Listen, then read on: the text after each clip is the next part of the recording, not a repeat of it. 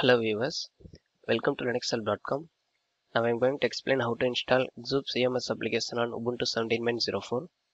First of all, Xoops is a popular and easy to use CMS application written in PHP. It uses a modular architecture and it's an ideal tool for developing small to large dynamic community websites or web blogs.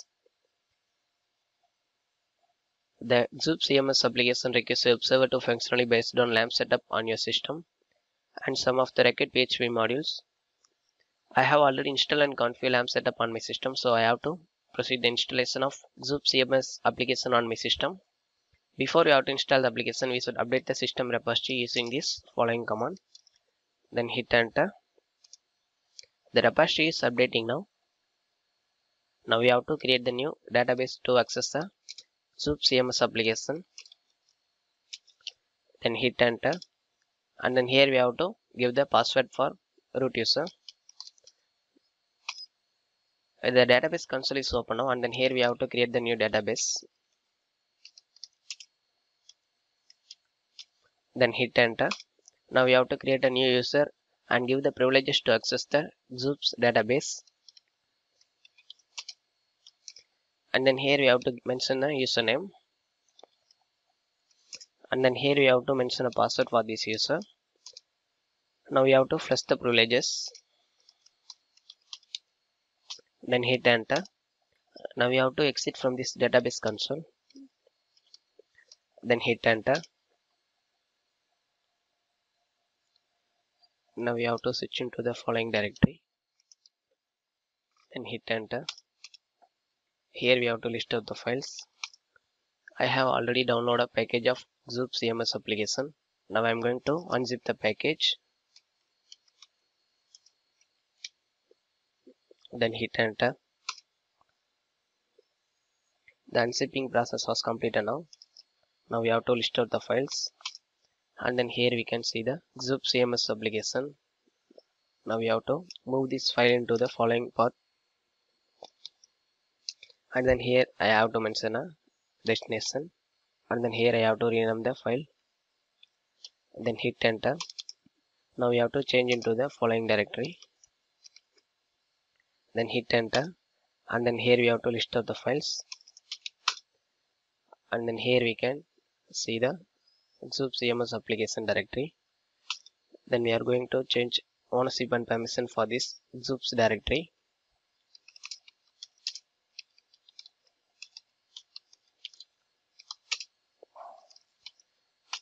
then hit enter now we have to change the permission. Then hit enter now we have to create a new host configuration to accessing a Xoops cms application.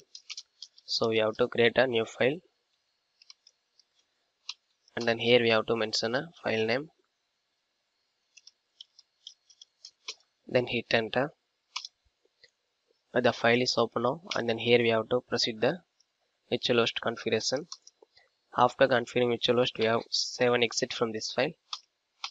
Then we have to enable the site access for new creation of virtual host configuration.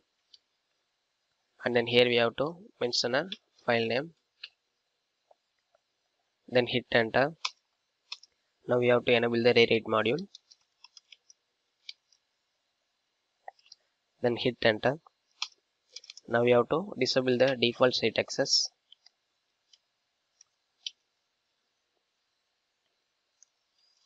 Then hit enter. Now we have to restart the apache service.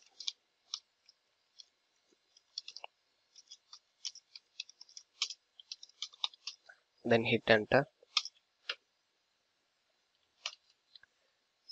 The service is restarted now. The service is restarted now. Now we have to open a browser the browser is open now and then here we can give the following url and then here we have to mention a local ip address or a domain name. So i have to give my domain name. Then hit enter. The site is loading now. The site is open now. And then here we can choose the language. After choosing the language we have to click continue. And then here it will show on a installation results. After choosing your configuration you have to click continue. Then it will show on a checking your server configuration. After checking your server configuration we have to click continue. And then here we can see the what is the version we has been installed. Xoop CMS application on the system. And then here it will show on a path setting. If you want to change any path please proceed here. After check it out your path configuration you have to click continue. And then here it will show on a database connection and then here we have to give the database username. And then here we have to give the password. Then we have to choose use persistent connection. Then we have to click continue. Then we have to give the database name. Then we have to click continue. And then here it will show on a system configuration. After ch check it out your system configuration you have to click continue and then here it will show on a database table name. Then we have to click continue. And then here we have to give the details for admin user here we have to give the email id for admin user and then here we have to give the password. Again we have to give the password. Then we have to click continue and then here it will show on a database setting. After check it out the database setting we have to click continue. Then it will show on a site configuration. Here it will show on a site name. I have to give Linux help. After choosing your configuration you have to click continue. And then here you can choose your default theme for your site. I have to choose XS watch. Then I have to click continue. Here you can choosing your services like a messaging profile and protector. If you want to choose a service please please choose your service. After choosing your service you have to click continue. Then here it will show on a module installation after check it out your module installation you have to click continue. And then here it will show on a welcome page of Xoop sites. Then we have to click continue. Now we get a home page of Xoop CMS application. And then here we have to click administration menu. And now we get the administration page. And then here we can see the control panel of administration. These are all the installation process about how to install Xoop CMS application on Ubuntu 17.04 thank you for watching this video please subscribe our channel Linux Help to more further videos visit www.linuxhelp.com for any queries mail to support at linuxhelp.com